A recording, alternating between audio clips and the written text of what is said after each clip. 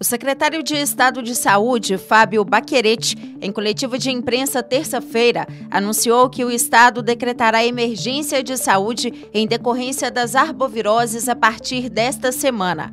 A medida visa facilitar para municípios e FEMIG contratações temporárias e compras de insumos para combate às arboviroses. E a novidade que teremos a partir dessa semana é que os Estados Unidos vai decretar uma emergência em saúde para que tanto a FEMIG quanto que os municípios possam fazer contratações temporárias mais rápidas ou comprar também insumos para o combate à dengue. Ou seja, a gente deve publicar até no final de semana um decreto que permite ao gestor uma agilidade na tomada de decisão, porque nós estamos percebendo que esse pico vai ser precoce e a nossa equipe, a partir dessa semana, a partir de semana, desde semana passada, a partir dessa semana, semana que vem, já começa a ir em todas as regiões do estado capacitando os eh, gestores municipais de saúde e os médicos e enfermeiros para que a gente não tenha óbitos de dengue evitáveis, porque boa parte é, da, dos casos de dengue, a maior parte deles são casos mais leves e boa parte dos óbitos são evitáveis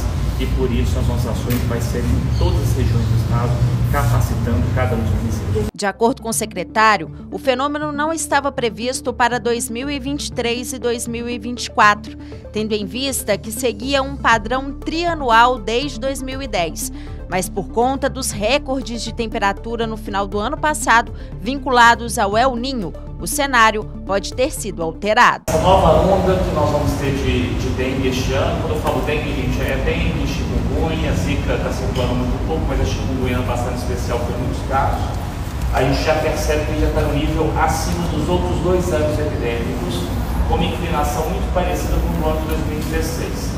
Nós não sabemos, obviamente, se iremos ultrapassar o ano de 2016, mas o que já sabemos é que provavelmente esse pico vai ser um pouco mais precoce do que os outros anos, que geralmente o pico de dengue varia entre março a maio, é, de dois anos. Provavelmente teremos aí até março esse pico, é a expectativa que nós temos, e ainda com uma inclinação e um aumento precoce que nos faz pensar que este ano pode ser realmente um ano tão grande quanto 16 e 19, talvez um pouco maior. Então, é um fator que a gente traz. Então, começamos com um crescimento precoce e com uma inclinação elevada, ou seja, já teremos um ano epidêmico difícil no estado de Minas Gerais. Baquerete destacou que o cenário que preocupa o Estado diz respeito à volta da dengue tipo 3. Um fator que nos preocupa um pouco, que é a volta é, da dengue tipo 3 a circular nas Américas. A América Central sofreu muito com a dengue tipo 3 no ano passado e esse, esse sorotipo chegou ao Brasil.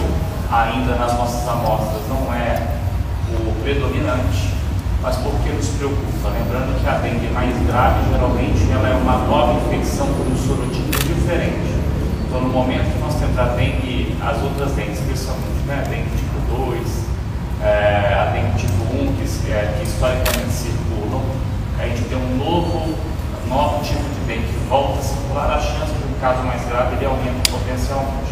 O secretário reforçou a importância do trabalho coletivo, envolvendo as secretarias de saúde e a população no combate às aborviroses. O mosquito aedes tem uma característica que não voa grandes distâncias.